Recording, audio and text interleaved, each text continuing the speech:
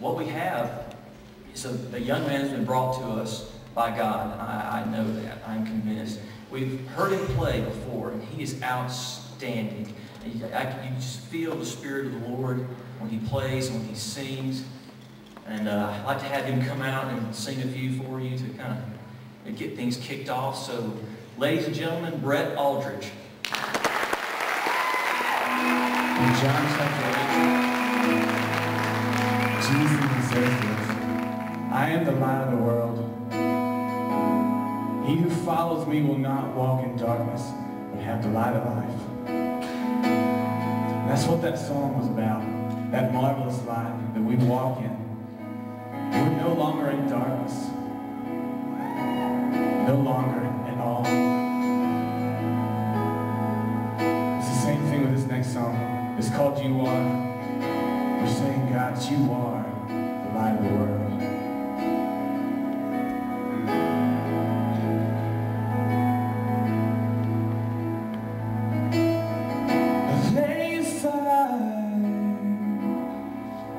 World.